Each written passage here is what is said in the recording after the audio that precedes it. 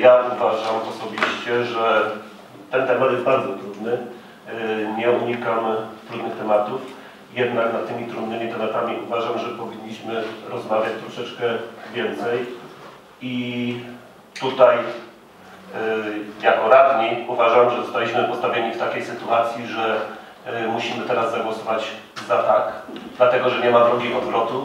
W momencie, gdy pani Krzysztof podpisała tą umowę z firmą, która zaproponowała e, najniższą stawkę. Ja uważam osobiście, że przetarg w takiej formie powinien zostać unieważniony, chociażby z tego względu, że kwota, którą gmina zaproponowała do przetargu, była znacząco niższa od, od kwoty, którą zaproponowała firma wysuwająca najniższą cenę.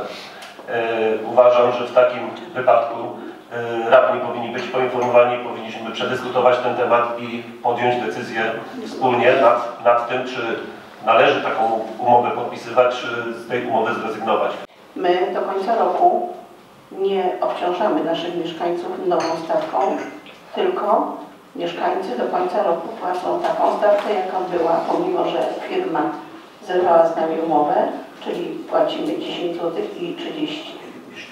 Natomiast nowy przetarg, tak jak powiedział wczoraj pan Bogdan Kukulski, nie dawał nam możliwości czasowych. I teraz zapytanie, szukanie i kolejnej firmy, która zechce nam odbierać wszystkie odpady, stało się samo, co się stało w lipcu. Czyli firma zewnętrzna bez umowy, bez przetargu, znaczy umową, tylko bez przetargu na ileś miesięcy do czasu wyłonienia kolejnej, odbierałaby, nie jeszcze nie wiemy, też ani my, ani Państwo nie wiecie, za jaką kwotę firma przy, przypomnę tylko, że firma z Kalisza Pilaty do czasu wyłonienia nowego odbiorcy wystawiła nam taką cenę, do której musieliśmy dopłacać. Na szczęście z gwarancji należnego wykonania mieliśmy zwrot pieniędzy i pan skarbnik mógł te pieniądze zadysponować, ale w tej sytuacji, gdybyśmy zerwali przetarg, skąd mielibyśmy wziąć pieniądze? Gwarancji należytego wykonania już by nie starczyło.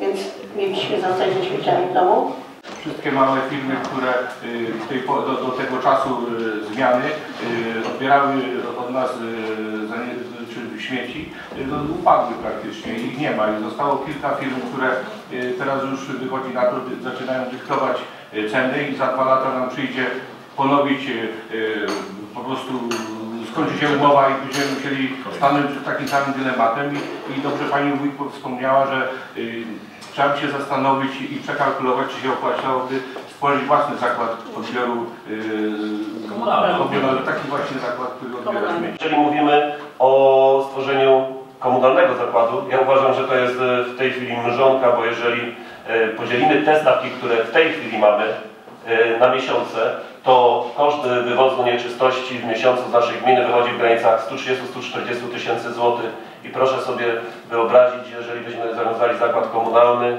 który musiałby zatrudnić ludzi, którzy musiałby e, wziąć chociażby w leasing sprzęt, e, i opłacić jeszcze wywóz i skup nieczystości. Nie wiem, czy to by było tak bardzo opłacalne. Chyba, że tak jak tutaj mówimy, byłaby jakaś spółka, która by występowała również e, i, i, i brała udział w przetargach na innych gminach. No, ale to jest już zadanie, które e, nikt nie powie, czy się uda, czy się nie uda, bo to są przetargi, które mogą się udać, a które nie muszą być, po naszej myśli.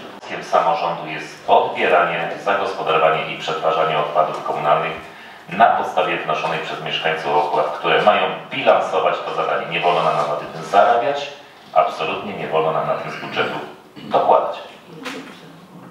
I jest podpisana umowa.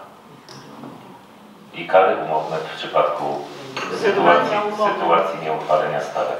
I dużo łatwiej by nam było dzisiaj zagłosować, nawet jeżeli te stawki by miały zostać takie, jakie dzisiaj są, ale podjęlibyśmy tą decyzję wspólnie jako radni poprzedniej kadencji i powiedzielibyśmy dobrze, sytuacja jest taka, jaka jest, nie ma innej możliwości prawnej, żeby, e, żeby rozwiązać ten problem. Zgadzamy się na to, żeby pani wójt podpisała tą umowę ze wszystkimi kosztami i z wszystkimi problemami, które, i z wszystkimi toporkami, które będą na naszej głowie się rozbijały.